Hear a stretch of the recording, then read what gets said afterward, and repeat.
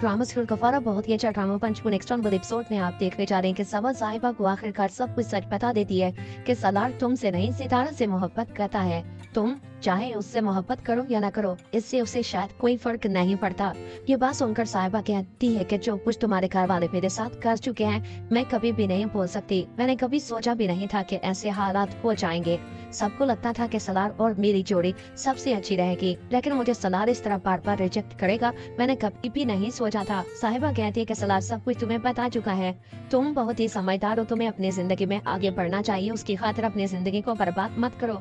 यह बात सुनकर साहिबा कहती है कि, सबा, मुझे क्यों ऐसा लगता है कि तुम झूठ बोल रही हो? ऐसी कोई बात नहीं, ऐसी ही बात है। तुम्हें शायद इस बात का अंदाज़ा नहीं पता मैं तुमसे झूठ क्यों बोलूँगी? जो भी सच है, मैं तुम्हें वही तो बता रही हूँ। आने वाले एपिसोड में अब आप ये भी देखने जा रही हैं कि अब बहुत ही ज़्यादा साहिबा परेशान है, जो की सलार से भी इंतहा मोहब्बत करती है। वो नहीं चाहती की अब ऐसी वैसी कोई भी बात हो। आने वाले एपिसोड में आखिरकार सितारा के तमाम तस्वीरें वो साहिबा को दिखा देती है और वो तमाम मैसेज जो की उसने सलार के मोबाइल से निकाले थे, जिस पर वो साहिबा को बताती है कि सरदार कभी भी तुम्हारा नहीं हो सकता, इसलिए इस ख्याल को अपना दिलो दिमाग से निकाल दो। उसे भूल जाओ, वही तुम्हारे लिए बेहतर होगा। मैं नहीं चाहती कि अब तुम्हारी ज़िंदगी बर्बाद हो। अगले ही सीन में अब आप ये भी देखने जा रहे हैं कि सितारा, जो कि निमी को कहती कि मैंने तुम्हारा क्या बिगाड़ा है? तुम्हें क्या लगता है कि इतना सब कुछ हो जाने के बाद भी मैं सलाह से किसी किस्म का कोई तलक रखूँगी? तो ये तुम्हारी सबसे बड़ी गलत फहमी है। अब मैं उससे नफरत करती हूँ। वो तुमसे शादी करे या ना करे, तुमसे कोई तलक रखे या ना रखे, मुझे इससे कोई फ़र्क नहीं पड़ता। मैं तुम्हें बता दूँ की मैं उससे नफरत करती हूँ। निमी कहती है की आखिर उसके दिल में ऐसा क्या है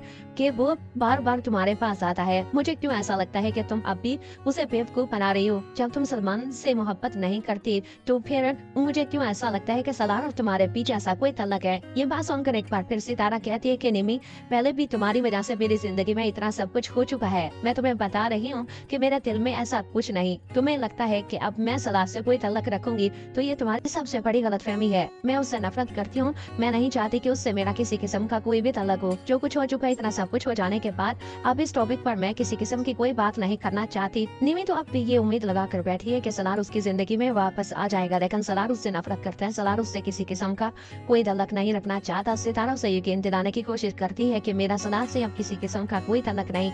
जो कुछ वो मेरे साथ कर चुका है, इतना सब कुछ हो जाने के बाद मैं उससे नफरत करती हूँ। मैं उससे कभी भी किसी किस्म का ऐसा कोई तलक नहीं रखना चाहती। निमी कहती कि मैं तुम्हारी बात पर कैसे यकीन कर लूँ? मुझे क्यों ऐसा लगता है कि तुम झूठ बोल रही हो? ऐसा नहीं है। ऐसा ही है। जो कुछ सच है, वो मैं तुम्हें बता चुकी हूँ। आने वाले एपिसोड में अब आप ये भी देखने जा रहे हैं की एक बार फिर सुरैया बेगम, जो कि अपने बेटे के लिए बहुत ही ज़्यादा परेशान होती है, वो अपने बेटे को ऐसे नहीं देख सकती।